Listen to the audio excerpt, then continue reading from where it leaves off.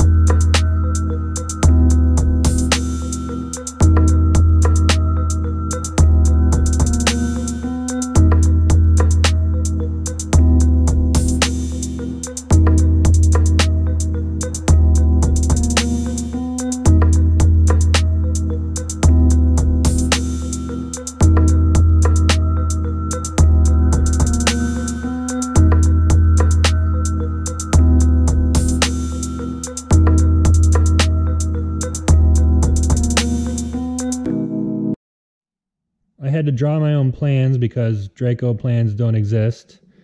So this fuselage has about, I think it's 51 inches long. It'll have a about a 76 inch wingspan. So this is a side view of the fuselage. Next we have a wing panel. I just drew one because they're symmetrical, so I don't really need to, I don't feel I need to draw two. Wingtip detail, and a side view of the wingtip. And then we have the stabilizer and elevator.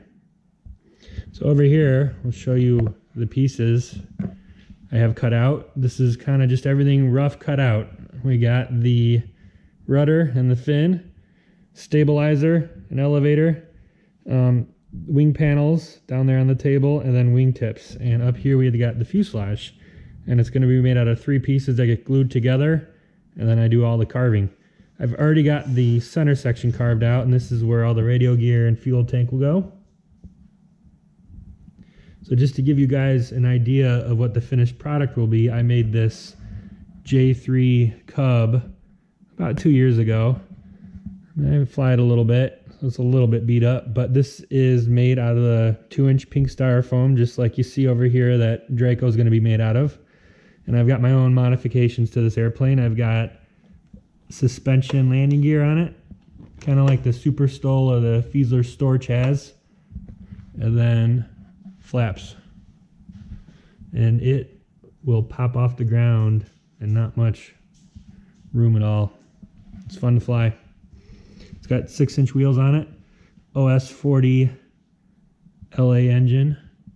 And then I'm flying it with just kind of like an old school Futaba FM six channel radio to operate the flaps. But this is going to be very similar to the finish and the end product of how I'm going to put Draco together.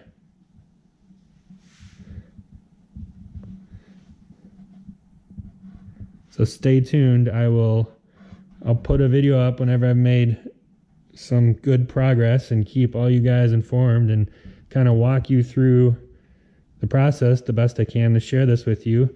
And as far as the plans go, if I get enough interest in this build, I wouldn't mind making these plans available to whoever wanted them.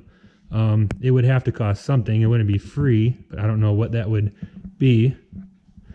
I mean, these are just what I've drawn up. There, I don't know how professional you'd call these, but basically what I do with them is I cut out the profile of everything and I just lay that right on the styrofoam and then I cut the styrofoam parts out get everything kind of built up and glued together and shape it. But that's all I got for now. So thanks for watching and stay tuned for some more progress. And just so everybody else knows that's following my channel for the Highlander build, I'm still going to be building the Highlander. This is just going to be a little side project. But right now I am working on the flap and aileron hinges. I've got them attached to the flaps and ailerons and next I got to do the leading edge installations on all the control surfaces. So that's all I got and thanks for watching. Give it a thumbs up and subscribe if you like what you see.